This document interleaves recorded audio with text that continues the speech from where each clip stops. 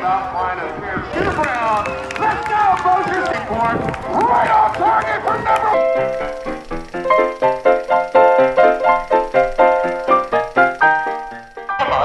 Ran to find a working Curtiss B-36.